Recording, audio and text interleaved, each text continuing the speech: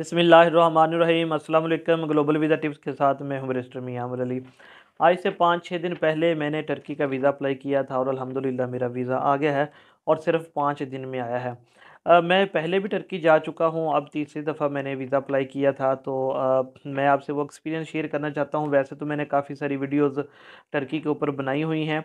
तो ये मैं छः दिन पहले गया था और वहाँ पर क्या सूरत हाल थी फ़ीस कितनी थी फॉर्म फिलिंग का तरीक़ाकार क्या था और लेटेस्ट क्या चेंजिंग आई है ये सारी चीज़ें इन आज की वीडियो में आप लोगों से शेयर करने वाला हूँ।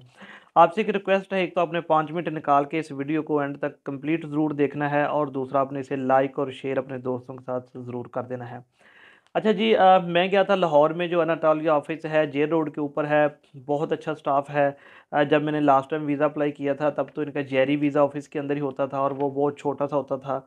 लेकिन अब बहुत बड़ा उन्हें जो ऑफ़िस है उन्होंने बना लिया है जो वीज़ा प्रोसेसिंग जहाँ पर करते हैं स्टाफ भी बहुत ज़्यादा अच्छा है।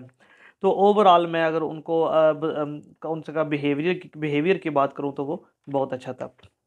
चलिए अब चलते हैं जी नेक्स्ट आपको बताता हूँ मैं कि सबसे पहले तो वहाँ पर आ, जो रिसेप्शन पे लड़का खड़ा होता है वही आपको गाइड कर देता है कि आपने टोकन लेना है और कौन से काउंटर पर जाना है। जब आप काउंटर पर जाते हैं तो वहाँ पर आपके डॉक्यूमेंट्स चेक होते हैं। डॉक्यूमेंट्स में अगर कोई कमी हो तो वहीं पर आपको बता देते हैं। लेकिन आपको परेशान होने की ज़रूरत नहीं है। अगर आपके पास होटल बुकिंग नहीं है, अगर आपके पास कवर लेटर नहीं है, अगर आपके पास एयरलाइन की टिकट नहीं है तो सारा कुछ आपको वहीं पर प्रोवाइड कर दिया जाता है। यानी कि जो अनातालिया ट्रैवल सर्विस है, वो भी आपको ये सारी चीज़ें प्रोवाइड कर देते हैं, लेकिन उसकी कॉस्ट जो है वो थोड़ी ज़्यादा होती है। जो वीज़ा फ़ीस है, वो इस वक्त है eighty four thousand eight hundred rupees, यानी कि चौरासी हज़ार आठ सौ रुपये है। ये डॉक्यूमेंट्स की लिस्ट है मेरे पास जो उनकी अपडेटेड है कि कौन कौन से डॉक्यूमेंट्स आपने लेकर आने हैं और किस तरह के होने चाहिए। तो मैं ये आपसे स्टेप बाय स्टेप शेयर करता हूँ और फिर मैं एंड पर आपको बताता हूँ कि कौन से डॉक्यूमेंट्स अगर आपके पास ना हो तो आपको वीज़ा अप्लाई नहीं करना चाहिए। चलिए नंबर वन पर जो उन्होंने लिखा हुआ वो है वीज़ा एप्लीकेशन फॉर्म तो ये वीज़ा एप्लीकेशन फॉर्म अब आप, आप खुद फिल नहीं करते तो वही अनातोली ऑफ़िस वाले ही आपके जो है वीज़ा एप्लीकेशन फॉर्म फिल करते हैं। जो वो फ़ीस लेते हैं eighty four sorry fifty four thousand and eight hundred rupees उसके अंदर ही आपकी वीज़ा एप्लीकेशन फॉर्म की फ़ीस जो होती है वो फिल होती है।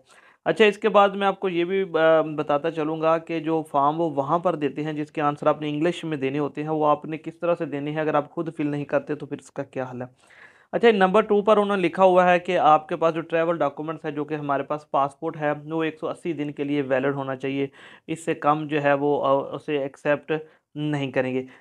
इसके बाद फिर नेक्स्ट आ जाता है कि इसमें लिखा हुआ है कि अगर आपके, अगर बच्चों के साथ आप वीज़ा अप्लाई कर रहे हैं और वो अठारह साल से छोटे हैं तो उनको यहाँ पर लाने की ज़रूरत नहीं।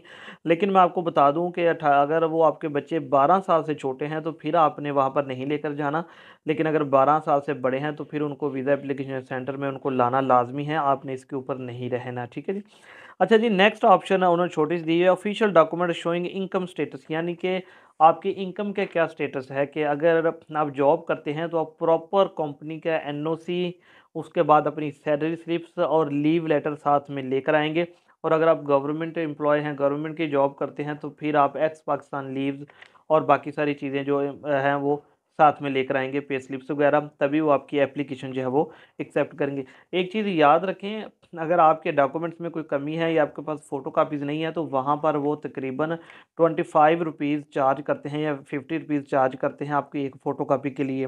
और अगर आपको कोई प्रिंट लेना पड़ जाए, जैसा कि मेरे साथ एक लड़का खड़ा था तो उसके पास एन टी एन का प्रिंट नहीं था। तो उन्होंने खुद उसे एनटीएन का प्रिंट अपने कंप्यूटर से निकाल के दिया और उसके लिए आई थिंक उन्होंने फाइव हंड्रेड रुपये चार्ज किए थे। तो ये चीज़ें अगर आप साथ लेकर जाएँ तो आपकी पैसे जो हैं वो बच सकते हैं।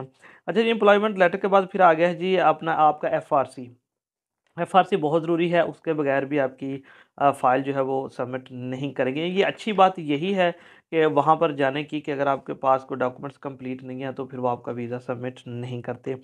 अच्छा जी नेक्स्ट आ जाता है जी कवर लेटर। अच्छा कवर लेटर पहले तो ये होता था कि दो तीन पेज का हम लिख कर लिख के जा सकते थे, लेकिन अब जो है वो सिर्फ़ और सिर्फ़ आप हाफ़ पेज के ऊपर या एक पेज के ऊपर मैक्सिमम जो है वो ए फोर साइज़ जो पेपर होता है, वहाँ पर कवर लेटर लिख कर जाएँगे। और अगर वो समझे कि यहाँ पर आपने कुछ मिस किया है, मज़ीद लिखने वाला रहता है तो आपसे वहीं पर पेंसिल के साथ हाथ में लिखवा लेते हैं और साथ में आपके साइन ले लेते हैं।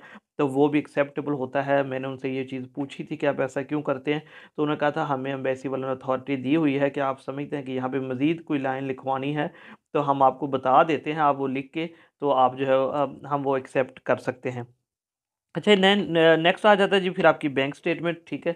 जो कि सबसे ज़रूरी है और बैंक स्टेटमेंट अगर तो आपके पास अपने फ़ंड मौजूद हैं तो वेल एंड गुड, लेकिन अगर आपको कोई और सपोर्ट कर रहा है तो फिर उसका भी एक साथ में एक अथॉरिटी लेटर चाहिए होगा, जिसके अंदर उसने बताया होगा कि वो आपको फाइनेंशियली तौर पर आपके इस ट्रिप के लिए मुकम्मल तौर पर सपोर्ट कर रहा है। फिर ही आपके वीज़ा ग्रांट होने के चांसेस हैं। बैंक मेंटेनेंस लेटर बहुत से लोग समझते हैं ये क्यों ज़रूरी है? तो देखिए, उनकी रिक्वायरमेंट के अंदर भी लिखा हुआ है।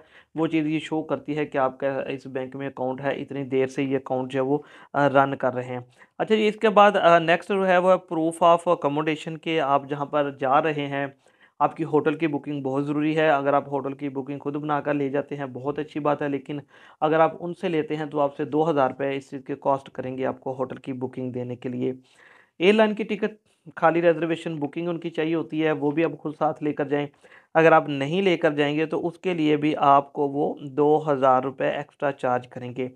अच्छा नेक्स्ट आ जाती है फिर ट्रैवल हेल्थ इंश्योरेंस पहले ये होता था दो हज़ार तेईस के स्टार्ट में तो ये होता था कि हम खुद ट्रैवल हेल्थ इंश्योरेंस बाहर से लेकर जाते थे जो कि सस्ती थी तकरीबन पंद्रह सौ, दो हज़ार में मिल जाती थी, लेकिन अब वो आपको या जो आपकी फ़ीस आप पे करते हैं, चौवन हज़ार आठ सौ रुपये इसके अंदर तकरीबन, जो पंद्रह हज़ार चार सौ रुपये की आपकी ट्रैवल की इंश्योरेंस होती है और बाकी वीज़ा प्रोसेसिंग और दूसरे अखराज होते हैं तो वो आपको ट्रैवल इंश्योरेंस हेल्थ इंश्योरेंस है वहीं पर प्रोवाइड की जाती है। अच्छा जी, अगर जो गवर्नमेंट ऑफिसर हैं, जैसा कि मैंने पहले बताया, वो अपना एनओसी और एक्स पाकिस्तान लीव जो है, वो साथ में लेकर जाएँगे, ठीक है जी।